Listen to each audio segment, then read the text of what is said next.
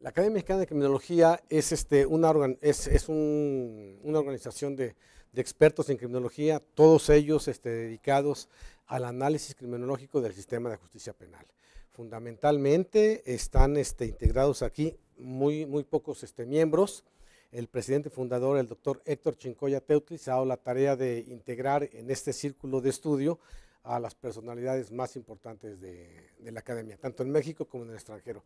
La participación más importante reciente como miembro honorífico de la academia es el doctor Eugenio Raúl Zaffaroni, un penalista importante a nivel internacional. En diciembre entrará también en la misma calidad como miembro supernumerario la doctora Lola Nillar de Castro. Nos dedicamos al análisis del sistema de justicia penal desde la vertiente sociológica, política, filosófica y jurídica ser criminólogo, haberse dedicado a la criminología, este, ser invitado por alguno de los miembros ya de número de la propia academia, ser aceptado por todos los miembros restantes de la academia y este, después, ya en el proceso formal de, ingreso, dictar un discurso de ingreso, escoger alguna persona que sea la responsable de responder el discurso y en su caso este, ser aceptado como miembro de la academia. Es un grupo de, de expertos muy, muy reducido porque la idea es que solo personas que exclusivamente se dediquen al análisis criminológico pertenezcan a este, a este grupo. Me invitaron a ser miembro de número, la invitación surgió a partir del presidente fundador, los 11 miembros actuales este, aceptaron mi incorporación debido a mi currículum, y he de ser sincero, gracias a la bonomía de cada uno de ellos. El discurso de ingreso va a ser el 9 de noviembre a las 6 de la tarde en el Salón de Actos y el tema central es sobre los problemas de integración del objeto central de la criminología. Los avances más importantes de la criminología en México y en el mundo están referidos al análisis sociológico jurídico del sistema de justicia penal.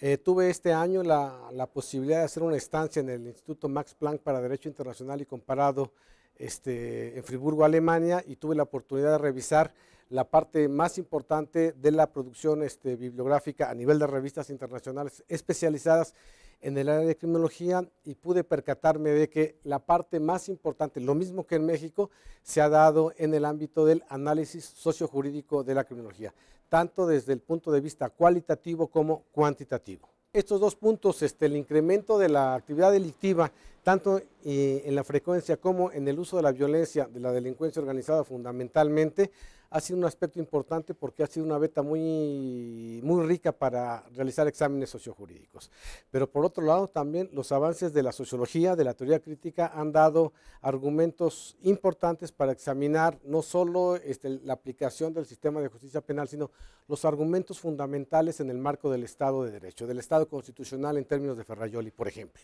En la academia se privilegia el análisis de todos estos sistemas y también se realizan a petición de parte en ocasiones estudios específicos en cada una de las áreas. Es un gran honor, no me esperé nunca que me fueran a, invitar, este, porque bueno, en él este, existen profesores míos, paradójicamente compañeros, pero sorprendentemente algunos alumnos míos, entre ellos el presidente de la propia academia,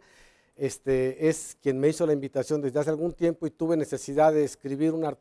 un discurso que estuviera a la altura. Para mí es un privilegio y un honor, sobre todo por el prestigio académico de las personalidades que integran este grupo.